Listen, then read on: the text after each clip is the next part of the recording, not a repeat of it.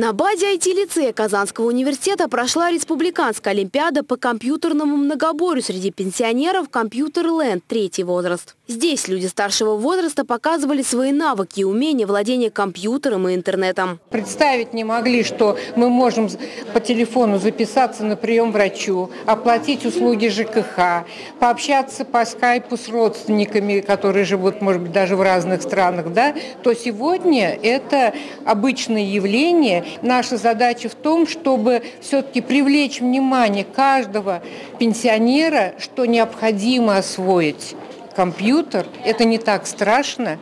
В этот день в мероприятие включились и лицеисты. Они встречали пенсионеров, отвечали на вопросы и выступили с интересной концертной программой. И то, что молодежь сегодня, предположим, того же самого IT-лицея, стоит рука об руку с людьми с третьего поколения, они вместе решают какие-то задачки, вообще супер, это колоссальный прорыв в развитии информатизации всех возрастов. Как говорят сами пенсионеры, для них освоение компьютера было несложным, но очень интересным. Интернет, в принципе, несложный. Это, ну вот я первый раз услышала в задании, что такое скриншот. Я говорю, а что это такое? Какое-то иностранное слово. Вот ладно, внуки объяснили. Вот это единственное. А так остальное это у нас все знакомы. Сейчас социальные сети, э, все новые технологии интересно общаться, говорить, работать, писать, создать слайды, презентации сделать.